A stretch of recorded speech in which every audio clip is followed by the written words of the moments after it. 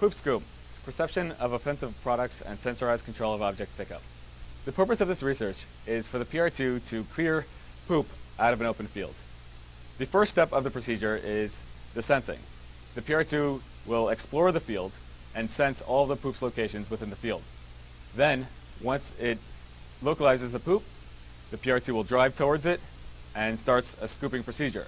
The scooping procedure includes the PR2 using a store-bought scooper to scoop up the poop and then drop it in a bucket.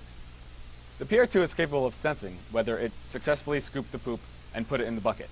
Our approach to this problem provides a few very important guarantees. We provide a completeness guarantee, which states that if a poop exists in the field, it will be found. And we also provide a consistency guarantee that states the robot will perform the same exact action each time.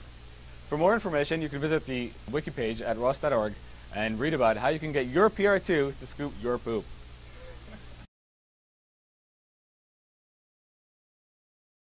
We tested with logs and piles.